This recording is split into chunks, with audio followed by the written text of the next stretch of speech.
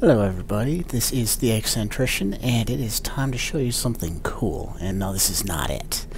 Alright, uh, so just wanted to show you a small project that I've been working on. Well, I don't know if I can call it a really small project, but anyway, let's go check it out. What do we got up here? Alright, here we go.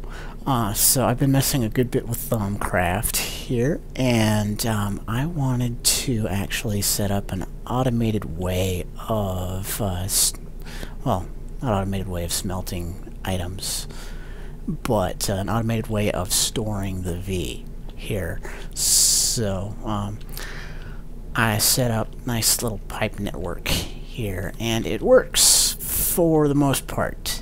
I am still ironing out the bugs, but um, I have done a good bit of testing and uh, I can get basically all of the aspects into their proper jars, which is pretty awesome. Uh, so let me show you what's, what's happening back here. I basically got bellows connected to these here Essentia buffers. And yeah, I do have to use these Essentia buffers, uh, else things kind of go a little wonky. Uh, but yes, very good. Uh, and then I just have uh, filtered Essentia tubes with a bunch of stickers uh, going over there. And some Project Red stuff. And I do miss LRM for this, but hey, what you gonna do?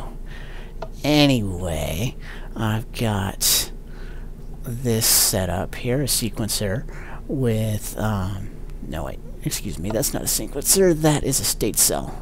That's a state cell. And so is that. Okay. Uh, so yeah. And this is actually one of the main problems with this setup is uh, it has to be pretty slow in order to actually uh, get the, the V into their jars. And I'm still working out the timing, but it's all good.